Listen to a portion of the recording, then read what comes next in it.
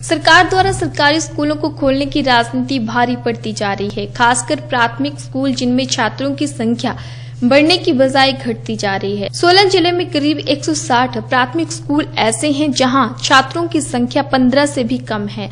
जहाँ एक और स्कूल में अध्यापकों की कमी है तो वहीं दूसरी ओर कम छात्रों की संख्या वाले स्कूलों की संख्या में भी इजाफा होता जा रहा है।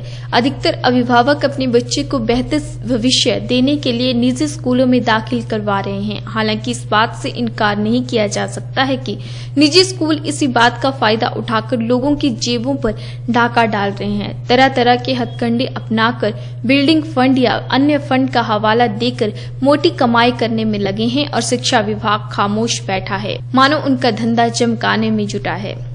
सरकारी स्कूलों में सुविधाओं के अभाव के चलते छात्र भी वहाँ पढ़ने में रुचि नहीं दिखाते हैं।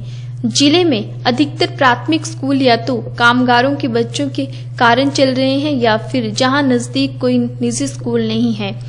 उप निदेशक प्राथमिक शिक्षा चंदेश्वर शर्मा ने माना है कि ज़िले में कम छात्रों की संख्या वाले प्राथमिक स्कूलों की संख्या काफ़ी है। उन्होंने कहा कि सरकार को ऐसे स्कूलों के बारे में सूची बनाकर भेज दी गई है। इन पर आगामी कार्यवाही बारे बोलते हुए उन्होंने कहा कि अब सरकार ये निर्णय लेगी कि इन स्कूलों को बंद किया जाएगा या अधिक संख्या वाले स्कूलों में मिला दिया जाएगा। लास्ट ईयर हमारे पास नोटिफिकेशन आई थी जिसमें पाँच बच्चे अगर है स्कूल में, पाँच सात बच्चे हैं तो उन स्कूलों को हमने बंद किया डिस्ट्रिक्ट सोलन में भी हमारे पास कोई सात आठ स्कूल बंद हुए।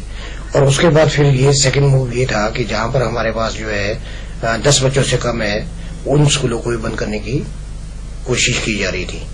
तो इस समय डिस्ट्रिक्ट सोलन में मेरे पास एक सौ उनसठ वन फाइव नाइन ऐसे स्कूल है जहाँ पर हमारे पास स्ट्रेंथ बच्चों की कम है। लास्ट ईयर का डेटा है, परंतु गवर्नमेंट ने मांगे थे, हमने भेजे, इनके, ये केसेस भेजे हैं। अब इसके बाद सरकार इन स्कूलों को बंद करती है मर्ज करती है अपग्रेड करती है, वो गवर्नमेंट की पॉलिसी पर डिपेंड करता है। परंतु ये ज़रूर है कि जहाँ जो मेरे पास 159 होते स्कूल थे उसमें भी इस समय स्ट्रेंथ बढ़ी है। तो मैं ये सोचो, समझता हूँ कि शायद वो स्कूल बंद ना होकर के, क्योंकि जब हमारे पास स्ट्रेंथ बढ़ रही है तो naturally they will continue it